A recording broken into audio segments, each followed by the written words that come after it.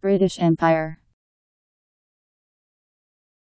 The United Kingdom together with its dominions, colonies, dependencies, trust territories and protectorates, became the Commonwealth of Nations following the independence of many of its constituent countries. B R I T I S H E M P I R E British Empire